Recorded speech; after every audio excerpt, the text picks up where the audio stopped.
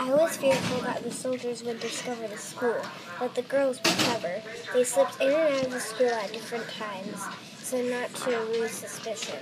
And when the boys saw the soldiers near the green gate, they distracted them. I heard of a soldier who pounded on the gate, demanding to enter. But all he found was a room filled with girls reading the Quran, which was allowed. The girls had hidden their schoolwork outwitting the soldiers. One of the girls, Mina, sat next to Nasreen every day, but they never spoke to each other. While the girls were learning, Nasreen stayed inside herself. My worry was deep.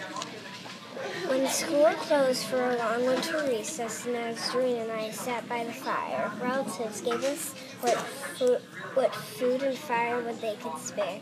We missed her mama and my son more than ever. Would we ever know what happened?